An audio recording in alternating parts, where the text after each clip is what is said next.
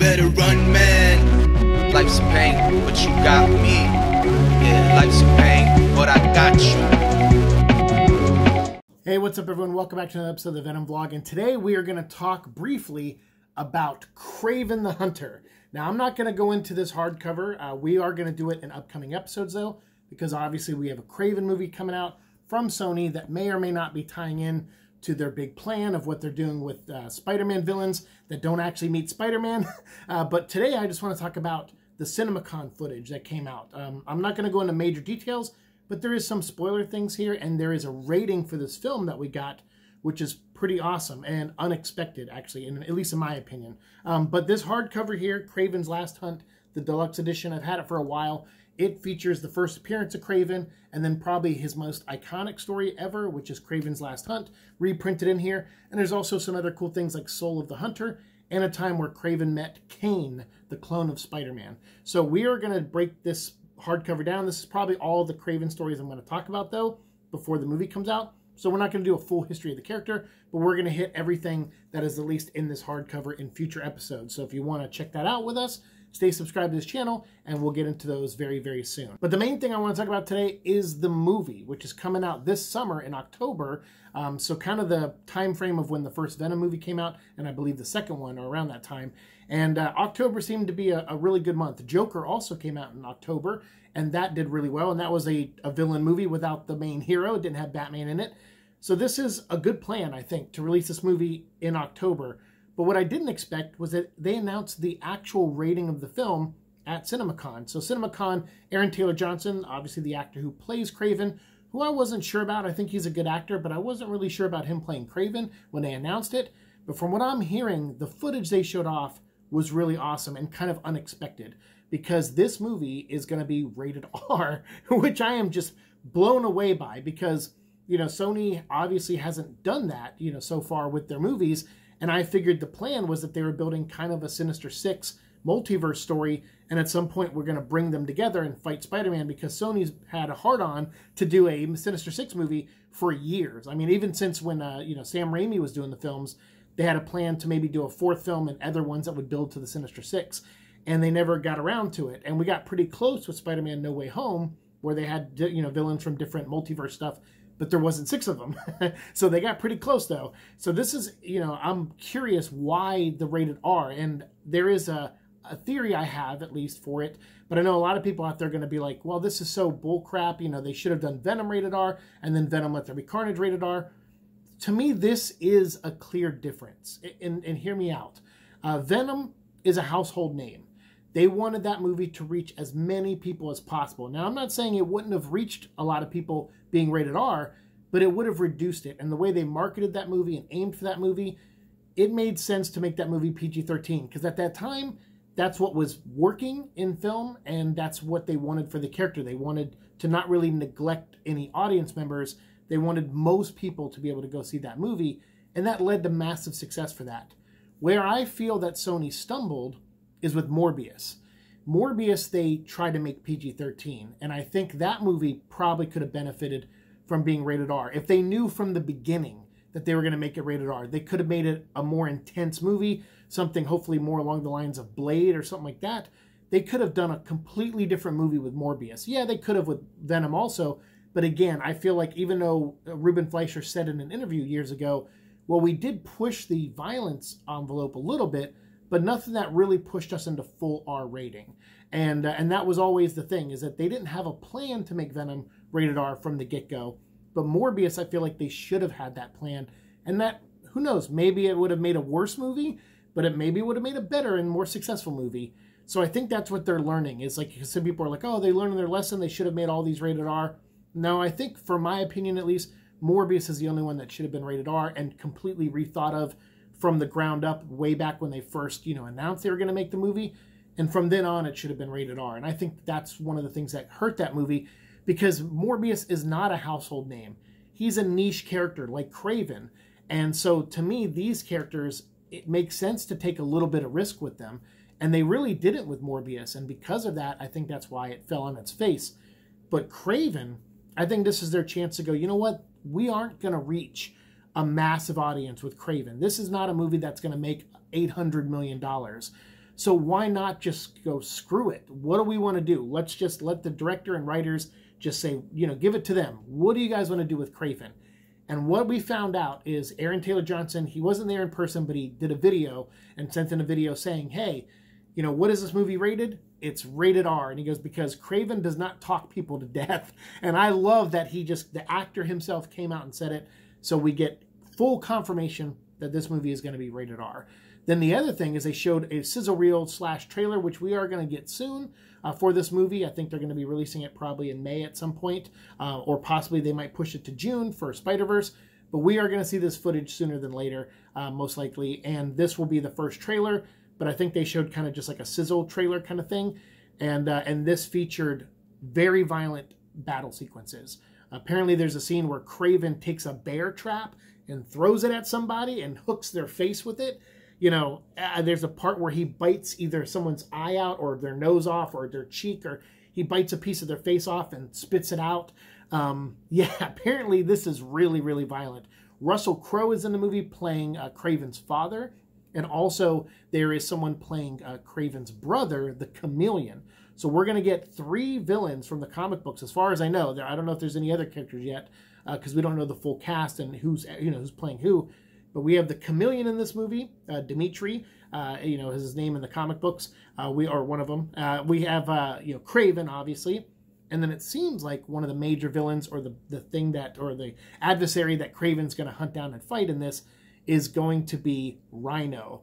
And this version of Rhino is an actual man who mutates into a rhinoceros uh, creature, like hybrid thing. So he might be a science experiment. He might be a mutant. We don't really know that kind of level of what this character is going to be, but he can transform himself into a, like with rhino armor and skin and stuff like that. So there's a guy sitting in a chair and he's like, "You're gonna find out why they call me Rhino," and then he starts to mutate into the Rhino. So that's really interesting, and what a cool villain too, or adversary, I should say, because Kraven essentially is a villain too. Uh, they didn't say like we're not going an anti-hero route or anything like that he has like a you know kind of a motivation that some people might agree with where he's kind of you know more you know animal friendly i guess or something like that or you know animal advocate. But he does hunt things and he and he has hunted most things. And i guess this is him still growing into the hunter that we know but now he's leaping from you know uh, you know i guess animals and things like that or whatever he hunted before into you know uh, special humans with special abilities. And uh, and we're gonna kind of pursue that journey with this character. So you know i've always been intrigued when they announced this movie. I was you know of course i rolled my eyes. I'm like oh man especially after morbius. I'm like i don't know about this. You know madam web sounds like it has a neat idea but i don't know about Kraven. but the word around you know that the people who saw this footage said it actually kind of impressed them a little bit you know considering how all of our most of our expectations are really way down here. So that's good to hear that the, at least it brought us, you know, even if we go from like if we're at a one right now for expectations, and then we see this footage, if even if it brings us up to a three or four, it did its job. You know, it, it got us out of complete, you know, denial of wanting to see the movie. So that's neat, you know, because so maybe some of us might go, hey, still not excited, but it got me to watch it on streaming at some point, you know. But who knows? Maybe it'll get some of those people in the middle, to, you know, to move up to theater and maybe want to go see it in a theater. So I'm intrigued. A rated R Kraven movie, I think, is actually a smart business move, at least in my opinion. But I wonder, is the plan still to put Kraven in a movie with Spider-Man at some point? Um, is that still going to be a plan later down the road, or is this them just going, you know what? Venom's been doing great without Spider-Man, and even though we had that little tease at No Way Home and at the end of Let There Be Carnage, you know, ultimately we may not have major plans to have Venom interact with Spider-Man we put a, a, piece of the symbiote in the Marvel Universe, and now that can go be its own thing, and we can tell stories over there if we want to, and maybe Venom will be his own, you know, own character. It could be neat, you know. I don't know. We don't really know what the plan is with Sony, and I don't even know if they know the plan sometimes.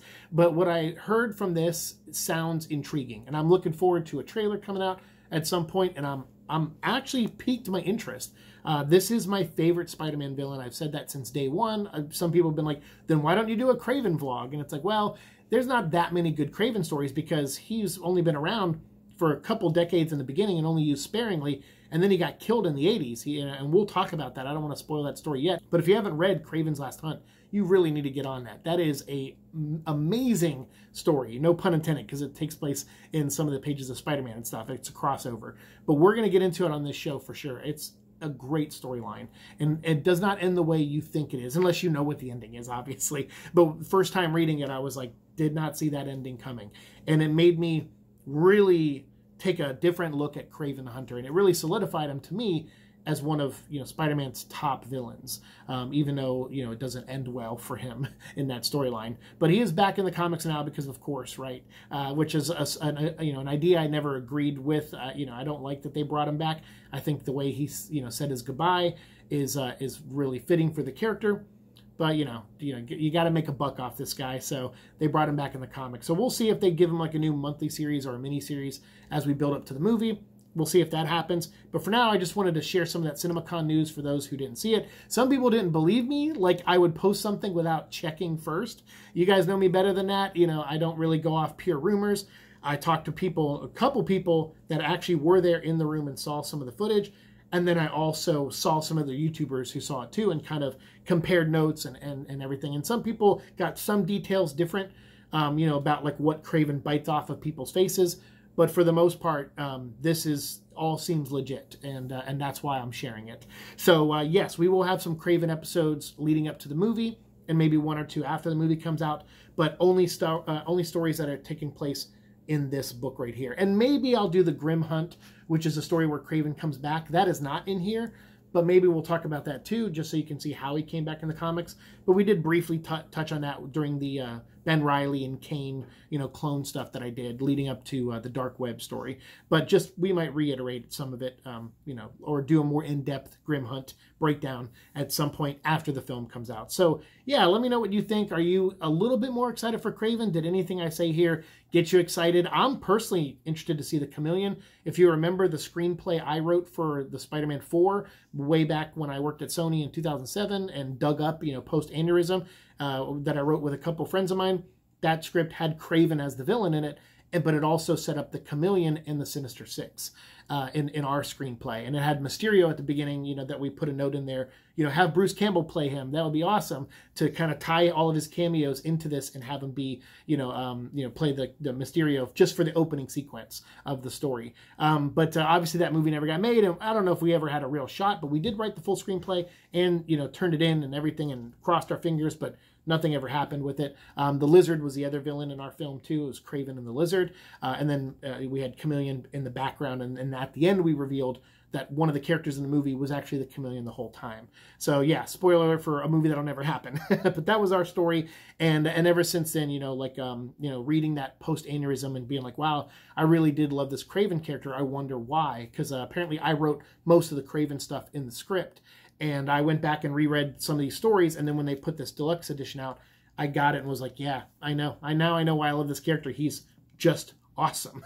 He's just pure man, you know, just hunting and everything like that, and uh, and deadly, very deadly, and uh, and looks at Spider-Man as a, a, potential trophy. He wants to kill him and uh, and hang his head on the wall with all the other you know animals he's hunted down, all the exotic animals, because uh, now he's hunting superhumans and stuff. So really neat character. I can't wait to see what they do with the movie.